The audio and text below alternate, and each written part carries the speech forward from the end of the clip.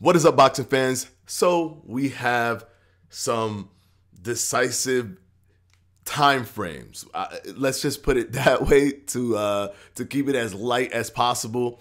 Uh, Todd Grisham was just on a podcast, Levels podcast, that was streamed on Facebook with Sports Nista and Rambling Ralph, and he revealed the final fighter showcase and a few other tidbits. Without any further ado, let's jump right into it. This is Edward, and you're watching Boxing Fanatico.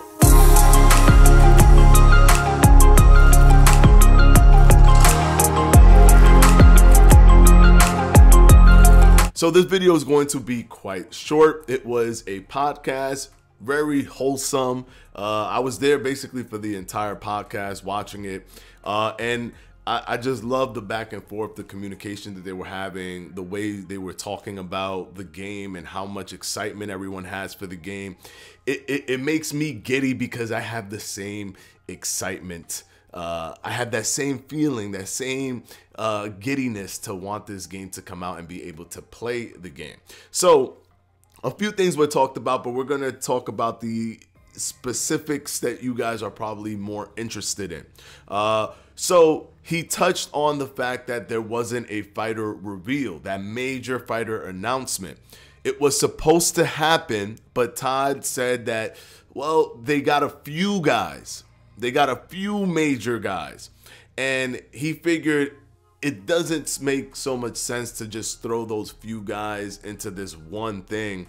He'd rather just do the final fighter announcement show. So this third announcement show is the final one. Apparently, there's not going to be another one, uh, but that doesn't mean that there isn't going to be you know more reveals later down the line as he said when the game comes out they're going to be updating the game and adding more fighters but he stated that this is going to be the biggest of the, of the all the fighters this is going to be the most you know the biggest show of all of the uh, of the three shows.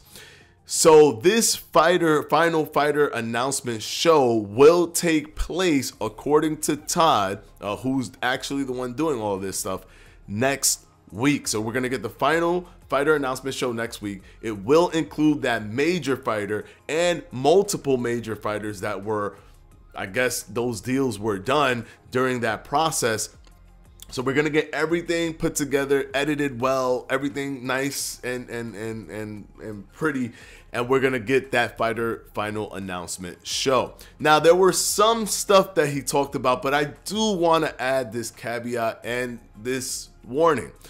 Do not go crazy if these dates do not come to fruition because they are targets. The same way they, the same way uh, Fawad, when interviewed, said that Q1 was a target, but when things, you know, push comes to shove, and they need to make, uh, and they need to focus on a specific date on what to do, or or enhance the game a little bit more, or add a few more features, or sharpen it up a little bit more, things get pushed. So please do not take this as the set in stone date because when game development there is no set in stone date but he was asked when they will be able to see this for consoles and his response remember take it with a grain of salt as he's not in the development studio but his response was late fall early winter as the target. So late fall, early winter as the target for uh, the the release for the console. So we know that summer is the target for uh, the early access, will which will release on PC. And then late fall, early winter does fall in line with what they said that they wanted to be in early access for at least three months before they, you know, before they come out on uh, for full release. But also, keep in mind that that could be pushed depending on the uh, user feedback because early access is us basically part of the development cycle and giving them our feedback on the game. But also, also, Rambling Ralph said to him, I know you can't say all of the special referees that you guys have acquired, but that's going to be great. It's looking like we might get referees, specific referees, actual referees like a Kenny Bayless or a Richard Steele or a Tony Weeks. We're probably going to get actual referees put into the game, and that seems fantastic if that's the case. I wouldn't mind seeing them revealed as well. a referee reveal would be would be cool.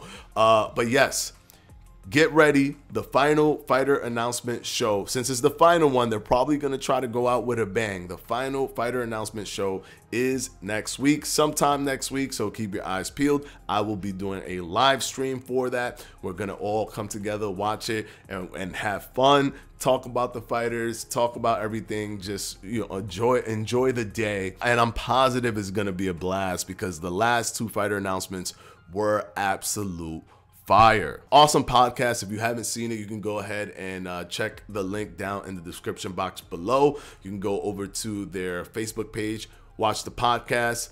I, am I'm sure they're going to archive it, so you'll be able to just watch it from beginning to end as they're talking with crowd, as they're talking with Todd Grisham, and they're focusing their entire interview on the ESBC game. So it's a very, very uh, fun interview to watch. That's all I have for today, guys.